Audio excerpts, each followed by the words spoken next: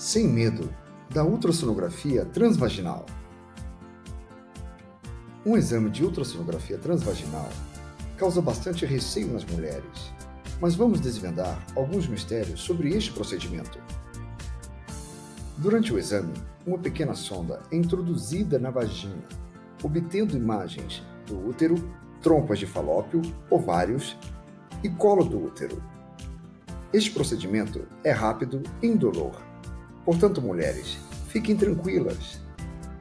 O único preparo necessário é esvaziar a bexiga antes do exame começar. Para saber mais sobre este e outros exames, acesse nosso site e baixe nosso guia de preparação para exames. A Clínica Montserrat zela por um diagnóstico preciso.